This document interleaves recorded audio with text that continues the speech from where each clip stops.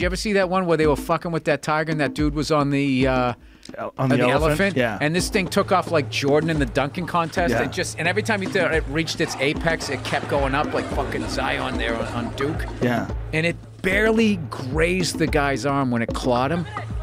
It tore it apart. And yeah. yeah, the guy like he had nerve damage and his fucking arm didn't work. Oh yeah, for sure. I, I found this picture on uh, Instagram of this tiger, and the fucking thing is is what looked like its legs back. It looks like it's doing dips, and just the fucking muscles. It doesn't even look real. Like like like that thing exists on this planet and was just like was just walking around free.